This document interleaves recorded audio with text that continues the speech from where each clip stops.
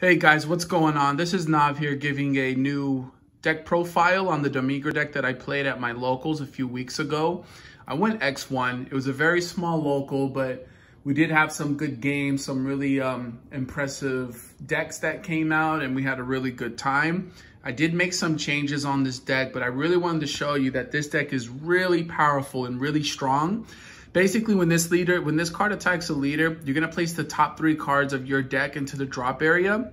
And then if all of them are black, you're just gonna draw a card, which all but two cards in this deck is black. This is a 60 card deck. I've been testing it. I feel like this is the way to go, but it's a really good, strong deck. And basically, if you're at four or less life, you untap two energy and restand them, you know, and awaken, whatever. And then this is Ghastly Malice Demigra. He has Wormhole. Basically, you can Over Realm and or Dark Over Realm twice a turn. When he attacks, you draw a card. And active main, choose up the three black cards in your warp and place them back to your drop area. This is really going to help you out recycle the Majin Buu, Wickedness, Incarnations. This is going to help you put cards back in, you know, that you haven't used yet, like your Fu Mission Accomplished, or Kowatsukais, you know, as long as you haven't done their effects. Because when you do their effects for the Fu and the Kowatsukais, they get removed from the game. So they don't go into the warp nor into the drop area. They are totally gone after. So we'll start off with the deck and we'll start off with the cards that you need to play it. So first off, I play four of the demonic uh, Overlord Demigra. And basically for this card, it has an active main. You burst two cards, for two energy. And if your leader is a Demigra or a Toa card, you're to place this card from your hand to the drop area. Choose one or two cards. This is not optional. You have to take a life. You cannot say that you're not to choose a life. You have to choose one or two. And you take them from your life, add it to your hand, and you're to choose up to one Gravy and one Puntine card from your deck and or Warp, and you play them, and then you shuffle the deck. So targets that you're going to need you're going to play four Gravies Lightning Might. This card is pretty cool, just a 20k beat stick. That's what I really just have them for, just swinging and attacking. And then you're going to play these two, which is really impressive, is the four of the Frigid Blast Puntine. Uh, she's a Dark Over Realm 3, so you want to keep her in hand on your first turn. You want to keep her in hand and the Demigra Demonic Overlord. Those are one of the cards you kind of want to mulligan for. If you have it, just keep it in the hand so you can uh, make some plays. Because if you go second on your turn two, you're going to swing. You're going to mill three cards, draw a card from leader, and then you just free play her. And basically, when you play her, whether you hard cast, whether you over realm or use the Demigra Demonic Overlord, you're going to be able to grab a Demigra card with an energy cost of four or less from your deck and add it to your hand. So I have two different Demigras that you grab for. One is the Demonic Overlord Demigra, and the second one is from the Draft Box 6 support that is really helpful for this deck. And for the one Puntine, the Dark Sorcerer, it's a barrier with unique, so you can only play one of on the board. Uh, ignore the first auto because honestly, it's just saying that if you have a, uh, if your leader's yellow and you rest a card by one of your skills, you free play her. But the auto that you really care about is the once per turn auto that activates during either player's turn. So basically, when your opponent plays a battle card using a skill or a, you know, they activate a counter skill, you're going to choose up to one of their battle cards and you're going to switch it into rest mode. So let me tell you this. If they're rival, you rest a card. If they swap, you rest a card. If they play tokens, you rest a card. If they do a boony, you rest cards. If they play the topo, you rest a card. Any counter, any counter play, they do the free play counter cards, you are able to rest a card. If they do the Bardock's Warcry, comes out, rest a card. This card is amazing. And usually you want to bring her out when you activate the Demigra Demonic Overlord on the second time. Not the first time. You want to do it usually on the second time because you want to bring out the Puntine first so you can grab the pieces you need. And then once you're able to do the Demonic Overlord again to, uh, you know, grab your life and awaken and whatnot, bring her on board and just relax. If they Union Fusion or, you know, you any kind of Union ability, the cards get rested, okay? No matter what. This card is amazing and she was MVP too. And for the Frigid Blast, another card that you want to grab is this card right here. The demon, the demon god Demigra, destroyer of history. So this card is really, really great. It opens up a lot more plays. It lets you play a Demigra card that you can kind of see in the corner. That was really difficult to play because you needed five energy. But for three energy, basically, he's an over realm four. He has an auto for one energy. If you have three or more energy, you can choose one card in your hand, discard it. When he's played using over realm, you're going to activate this skill at the end of the turn, okay? You choose up to one Demigra card with an energy cost of five in your deck or hand and play it. So you, you know, after you do the Demonic Overlord, you bring out the Frigid Puntine, you bring out your gravy, and then you're over, you're, you're able to overrun twice for the turn, because by then you're going to be awakened. You're going to play this guy. You're going to discard a Majin Buu Wickedness Incarnate, your Kawitsekais, your Fu mission accomplished. You'll discard all those cards, so then you can plus at the end phase and whatnot. And you're to have to, you'll play this card. This card is amazing. This was MVP right here for the night. Forced Absorption Demigra. So this one says he's a triple strike, 30k. When this card attacks, if your leader is a demon god and you have 15 or more black cards in your board, which is really easy, by turn three, you're to have 15. And you're going to choose all of your opponent's battle cards, ignore and bury, and combo with them in your combo area. Even if they negate the attack, the auto still goes off. Even if they, you know, do some kind of something, anything that they do, the auto will go off and they won't even have a chance to activate blocker because your auto goes off before blockers do, okay? So that's one of your options. And then this right here, my friend let me borrow his playset of the um, Draft Box 6, the new 5-drop Demigra. He has 30K. He's in Overrealm for, I think it's five cards. Or you can Dark Overrealm for five uh, black cards and pay two and pay two energy. And he's a 30K. Basically, when he comes out, you draw a card and then you warp a card on your opponent's side of the board. And whenever he attacks, they have to warp a card from their hand. So it gives a really good hand destruction. It really simmers down their hand, and it's a 30k beat stick as soon as it's out on board. So those are your two options to play. 90% of the time, you're going to go for the Force Absorption Demigra to white clean up their board. It's a lot of pressure. They have to invest a lot of cards to stop this guy. Yes, they both don't have barrier. They don't have deflect you know, so they can play, you know, God Sealing or something to stop these plays from happening, but they have to invest a lot to get rid of these cards because they're both 30K, okay? And then here's some other cards that I play. So I play four of the one drop Dark Power Black Masked Saiyan. For this meta, this card is amazing. This is a card you also want to keep when you mulligan. This is one of your turn one plays as well. You know, if you don't have the um, the frigid, or if you do have both and you're going second, you know, you can play her, you can play him, and just keep your opponent in check, you know.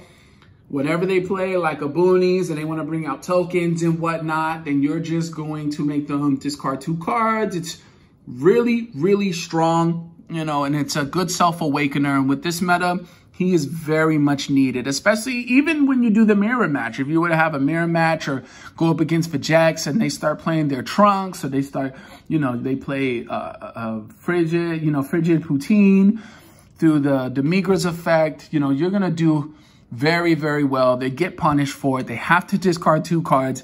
I just keep this guy hanging on the board. I barely swing with him unless it's really needed to. Okay.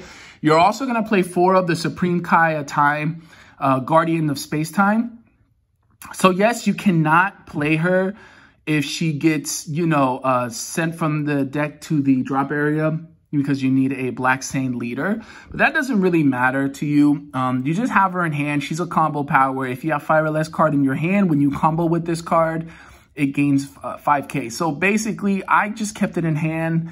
You know, I never really free played her or anything. You really can't unless you have a Black Saiyan leader. But She's really good. She's just your pseudo combo. That makes like your eighth, that makes eight, you know, four extra super combos in the deck. Very strong, very powerful. I really like this card. I think you should just keep this. I think all black decks should like main this card.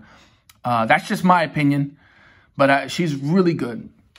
Now, for your cards that you're going to utilize and recycle, the Majin Buu Wickedness Incarnate. So this card right here, you can just cycle this card out. I was playing four. I brought it down to three, but now I'm thinking about playing just two because for one energy has an active main. If your leader's black and all your energy is black, you're going to send this card from your drop area to the warp and you can't activate them anymore. But at the end phase, you're going to choose a black card from your hand, discard, and draw two. So you can just discard him, discard Kawutsukai's or Fu Mission Accomplished, or just anything you need that you just, you know, you can just recycle over and over. And then with the Demigra leader, with the active main, you can put them back into your drop area and do it again on your next turn. So when you, you know, when it's your next turn, you're going to do that, paying energy. And that's what I was doing a lot in my games. I was just really recycling this card over and over and over again. So you definitely want to keep this in your black deck. Next we're going to go is with three Kawutsukais. Um, uh, Mechanical Courage. This card is amazing. I played this card on the turns that I was bringing out the five drop, the Force Absorption Demigras. If I was swinging and trying to go for games, I would just pay an energy, put anything that's useless in my hand back to the bottom of the deck, draw two cards, draw, oh, well, up the one or two cards, whatever. It depends on the amount of cards you put back in the deck. You don't even have to put a card in the bottom of the deck. And for the rest of the turn, if the opponent plays a battle card with 20k power or more, they have to choose two cards from their hand and send it to the board. So whatever cost that they're having to pay originally, they're going to have to pay more. This card was so amazing for me when I, you know, when I went for these plays. Oh, you want to play your counter Frieza with green? The charismatic villain? Cool. Warp two cards. Oh, you want to bring out Topo? Cool. Discard a card and also warp two cards. Oh, you want to play Yamcha, the counterplay Yamcha? Fine. You know, warp two cards. It's just so strong, so very powerful, very strong when it's your, you know, on your turns that you want to go for game. You just want to go safely into some plays. This is the card to play. Uh, and I only played two of the Fu Mission Accomplished. Um, I was playing about three or four, but I cut it down. You know, for two energy, you basically get this card out of the game from your drop area. You choose one black battle card, you know, with an energy cost of seven or less from your drop area or your warp. So you're able to grab Demigra again. You're able to grab Puntine. You're able to grab, you know, anything. You're able to grab your five drop Demigras, your Black Paramount Sane, you know, your super combos. You know, you grab all these and you make some some pretty cool plays, some pretty cool interactions. So I was playing this card. Uh, I used them a couple of times in some of the rounds. I, you know, most likely you're just going to go off about one time, to be honest with you. It really just depends on your matchup. If you're playing a very long game, you're probably going to do this, you know, you're probably going to use both of them. But if not, you know, one is fine and you just grab whatever you need to go for game. You grab your super combos, you know, and just go all in. And for the Over Realm cards on top of the Demigra card, what I played, I actually played two of the Super Saiyan Bardock, the Tenacious, and three of the Super Saiyan 3 Goku Man on a Mission. So the reason why I played this, this right here was a card that I played on the turns that I was also bringing out the Force Absorption Demigra. So when I was able to over realm and whatnot, so on top of making my big plays, you know, I would send three back. You know, I have about three in the drop area, so I have six now, or attack with a card combo with it. And now we're playing for one energy, one black energy, Over Realm 6. And when I play this card using Over Realm, my opponent can only attack with battle cards once on their next turn. So they can only swing with a Unison, a Leader, and one card, one battle card. And that's it. And then you can't play them again on your next turn. This card was, was really good, was really good defensively because what I would do is if I have the, if I play the Bardock, and then I also play the Poon, and I have the Puntine on board. So if they try to do any plays on their next turn, like they try to bring something out with a skill, I would rest it. So now the battle card can't even attack unless they have another one on board. And then, you know, and then they can only just swing with the leader. So this card, I only play two. I was playing three, but I realized that, you know, he's only going to be played every other turn. And I just didn't want to get my hand really clunky with it. I was, I could be able to grab him back with Fu Mission Accomplished, or I just keep them in hand, you know. And then when you play the SS3 Goku Man on a Mission. This was just for the aggro play, or this is if I wanted to go for game. You know, over realm six, critical double strike, really, really easy to do. I mean, the deck really recycles the warp. It, it, it's just very open. This deck is very open. The drop area and the warp is just, you can just play around with it and just bring them out. I never had any issues when I brought them out. Most of my, most of the times when I brought this card out, my opponents would, um, you know, use their counter plays. They would use all their their resources of defense to, to stop him. But then, you know, they still have to face a Force Absorption Demigra. They still have to face any double strikers, you know. So that's, it's a really good card. And next, my lineup for the super combos. I'm kind of just testing this out. I play two SS Vegeta, the Prince Strikes Back, and two Bibidi. Um, Bibidi is still pretty good in this meta. This is just my opinion. With this deck especially, it is not hard. Just like the same thing with Vegeks. It's not hard getting that 15k. And on top of that, you know, my hand gets smaller and it increases my Supreme Kai of Time to be another pseudo combo. So for 10k and whatnot. And the Vegeta, you know, I really like the Vegeta. I'm able to put cards back in the deck that I don't want in my hand. I can put the Force Absorption Demigra back. I can put the Draft Box 6 Demigra back. I can just put cards that I don't need, anything unnecessary. Like I don't need this right now. I don't want it. Draw two cards. I can put an extra card back in the deck that I don't need and just recycle and combo more. So very strong cards right now, okay? And for my two black, my two non-black cards, I play two Hidden Power E Supreme Kai. Uh, this card's pretty good, really amazing. It's just my double striker going for game. I only play two. I was playing three, two, four, but if you swing with your leader and you're not awakened and you mill it, you don't get to draw. So you kind of neg on that. So you lost a double strike and you lost the draw. To be honest though, on the flip side, with this deck, you're usually waking up on turn two, turn three. So those are the only really two turns that you're going to be sending cards from the top of your deck, you know, into the drop area. So what I say is keep this card if you really feel like it. Just keep this card when you mulligan as well. So you have the Black Power Masain, the Frigid Puntine, you know, you have the Dark Demigra, and then just keep this card in your hand because you can swing with any of your battle cards and go for game. If they're not able to, the, you know, if your Force Absorption Demigra doesn't give you game, just play the Hidden Power Supreme, you know, E Supreme Kai. This card is amazing. If your leader doesn't have double strike, you have to play a double strike card like this, you know, because it's it's sometimes the element of surprise. It really just helps out. And for my extra cards, I play Three Majin Buu's Human Extinction Attack. This card is amazing against the green matchup.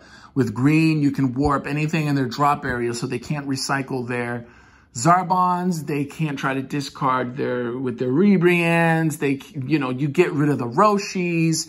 And this card, you know, pumps up one of your black cards, whether it's a leader or battle card, you know, by 15k power for the duration of the battle.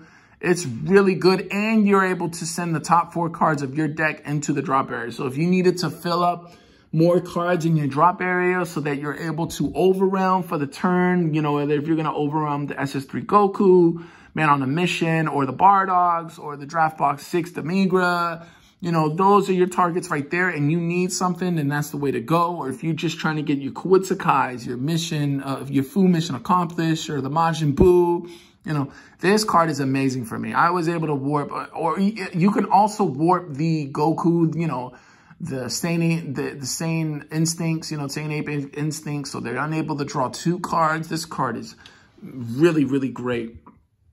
And then I also play four power bursts, you know, with an aggressive deck. It's kind of like as if you're drawing two you know, you negate an attack, you take a life, you add one of your Supreme Kai times or your Dark Power Black Masked Saiyan, or you can add Kawutsukai if you really wanted to, you know, for if you want to have some combo power on your turn or for the next turn or, or, or, or you know, when it's, when they're trying to, you know, go aggro on you or push for game, you have more options to play. This card's amazing. You know, for Sparking 5, it's not difficult.